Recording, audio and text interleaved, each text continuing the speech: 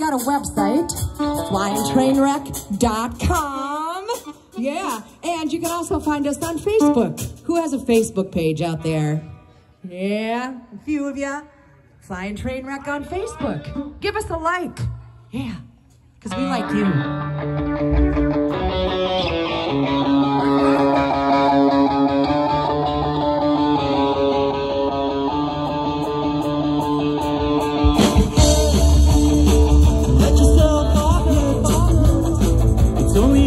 make you feel